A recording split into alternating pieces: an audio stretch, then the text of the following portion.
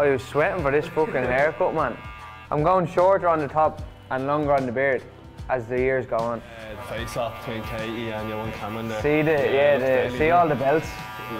Mad with ten belts there, like isn't it? Uh, thing as well, Loma are on this weekend. Yeah, that's Saturday night as well. What's your predictions for that? Uh, I think Haney's too big. Like if I had it came two years ago, it could have been different. But I just think Loma's a little bit, little bit too old now, and he's Haney's big for the weight as well, isn't he? So I think Loma can still do it though. Still yeah, a lot of people aren't are still uh, giving him a chance in it. You can never count Loma out. Yeah, yeah. My mate's walking me out. Uh, so I grew up in number 81. My estate, I was number 81. He was 75.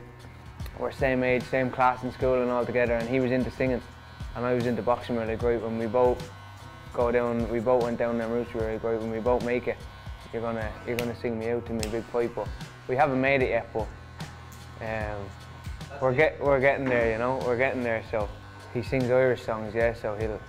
He said to me last week he'll only have to sing the first three words, and then he was like, "Crowd's going to do it for me." Like, do you know what I mean? The atmosphere is going to be amazing. So, last few weeks trying to picture the atmosphere, and I've been to the 3Arena loads of times, like, and I'm like, yeah, trying to picture, picture it, but like, I don't think, I don't think you can even imagine. Like, when did Conor McGregor fight in Arena? That was, was that?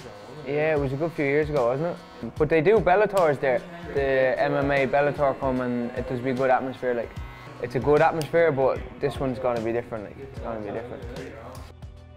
Katie is a god here. Like, she's. I think her personality. A lot of people say about her personality, she's like she's. She's quiet, and maybe it's not like. Not the best for selling fights sometimes, but I think with her skill set and what she's done, it just surpasses. She doesn't need to talk. Like you know, some people are that good, they don't need to speak. Like, and I feel like that's Katie. Like you know. Chantel's not the biggest talker either, eh? It's going to be hostile for her on, on Saturday, like, but I'm sure she, of course, she's expecting it. But I think Katie will rack up a few early rounds. It will probably come into a bit of a war in the mid rounds towards the later rounds. But uh, I think Katie will do enough early on to, to rack up the points. But Chantel's going to be bigger. She's going to be stronger. But I think skills pay the bills.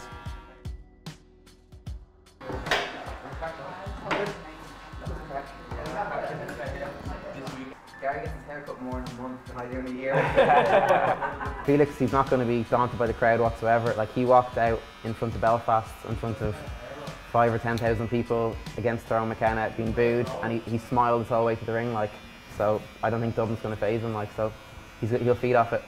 Well, I think if you're if you're that experienced and you're coming to Dublin and somebody's from there, you know what you're getting into. Like you know you're going to be faced with that. Like, you know what I mean? Yeah, like he knows what. Now I think I think this year like I want to build a fan base back here, and then I want to start doing my own thing in Ireland, selling out that arena myself. And then I, I eventually want to go over to the States then, hopefully the start of next year, and take on them names then. Like so, probably two more fights back in Ireland would be nice this year after this, and then hit the States early 2024. Skill-wise, he's ready. The only thing is just the rounds. I've, all. Like, so. I've only fought eight rounds once. I've only went to eight round distance once, like so.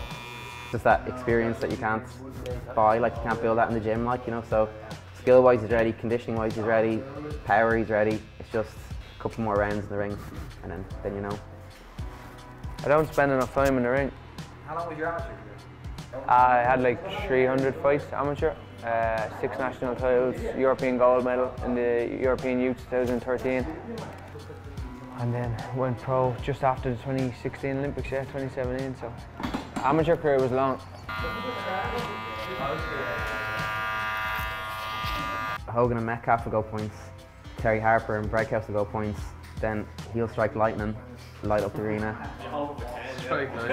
and then have the place ready for Katie. That's what. Uh, that's the plan anyway. Definitely going to be Katie's toughest fight. Um, I think a big thing is going to be the weight. Like if you watch when she fought Persoon, Persoon came in at 131. Cameron's going to come in at 140, and then probably. But I don't know what she puts on after the fight. But if she can use that weight, and if she can go early, um, but I think the key is feet. I just think I think Katie's feet are just too good. I think Cameron will get to her, but how early she gets to her. If she gets to her within the first five, it's going to be a tough fight. But if Katie can kind of dance for the first five, then I think she can coast a little bit clearer to end. But definitely kind of 96, 94 points. Yeah, it'll, it'll be tough, like, but She can't help but get pulled in. she just loves it. In Dublin, especially. Yeah. As a coach, you'd be going mad. Like, there's no need for that whatsoever. Like, and That fifth round is new, Everybody who I've spoken to who was there was like best atmosphere I've ever witnessed. honestly. this will be better.